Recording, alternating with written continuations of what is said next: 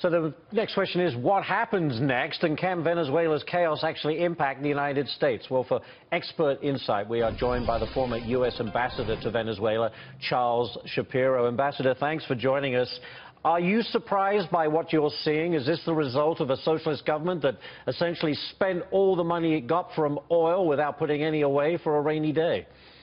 You nailed it. The price of oil is cyclical. Everybody knows that. When prices were high, they spent it all and didn't save anything. Now they're low and they're, they're stuck. So what happens from here? I mean, we hear that the Chinese are giving them some restructuring of the debt, but that doesn't help the people who can't get access to food, uh, decent medical care. They're on two days a week in the public sector. They're being, being encouraged to do that in the private sector. I mean, how far down does uh, this country go?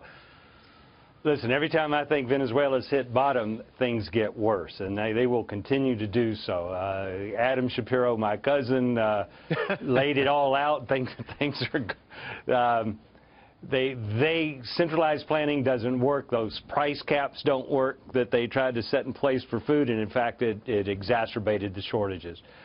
Um, the opposition is, is more unified than it's ever been. It's working hard to get a recall referendum going.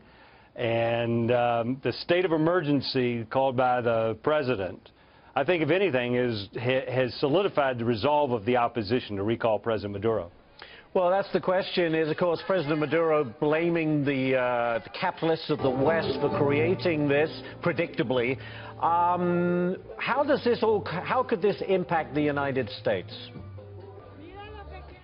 Uh, well, fortunately, uh, oil production elsewhere is up, and we're no longer dependent on Venezuelan oil the way we were before. Um, so I don't see it having a major impact on U.S. economy. Um, I'd like to get those fires out near Fort McMurray and get yeah. Canadian oil production back, back in line. Um, and that million, dollar, million barrels a day of Canadian oil would be real nice.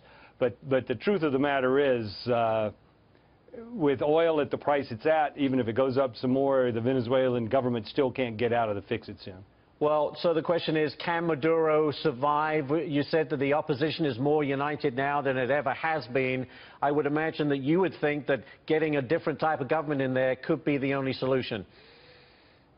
Look, never underestimate the ability of uh, autocratic governments to stay in power. We've seen that around the world.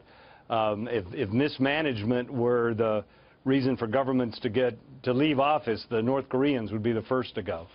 Um, they, they can hold on, but I, I think that the opposition is actually using the Constitution that Hugo Chavez right. wrote.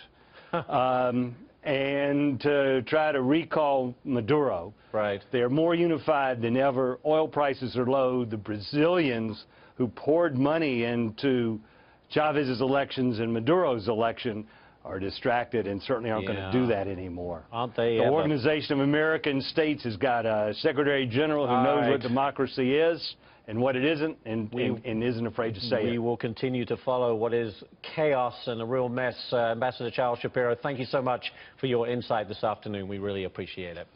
It's a pleasure, Ashley. Okay.